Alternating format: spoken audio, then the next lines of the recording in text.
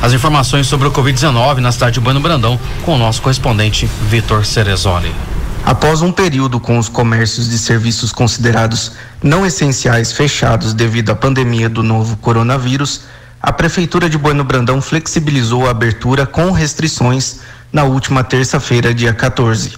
As atividades ligadas ao turismo, como os meios de hospedagem e os atrativos turísticos naturais ou não, estão com suas atividades suspensas por tempo indeterminado, com o intuito de se evitar aglomerações. O decreto completo sobre a flexibilização do comércio com as devidas restrições está disponível no site www.buenobrandão.mg.gov.br.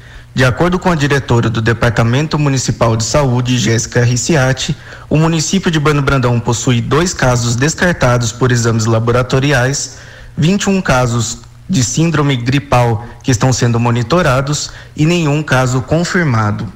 Colaborador Vitor Cerezoli de Bueno Brandão para o jornalismo da Rádio de